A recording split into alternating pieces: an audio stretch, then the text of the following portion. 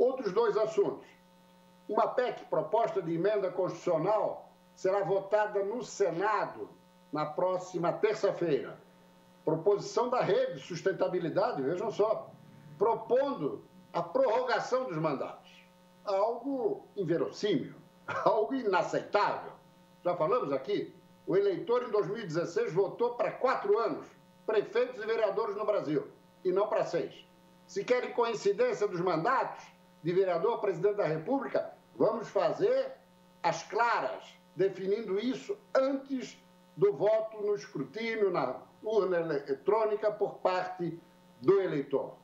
A expectativa é que o acerto que foi feito entre a Justiça Eleitoral e o Congresso, ainda nessa semana, primeiro turno 15 de novembro, segundo 29 do mesmo mês, possa ser honrado, que os senadores não deem essa rateada.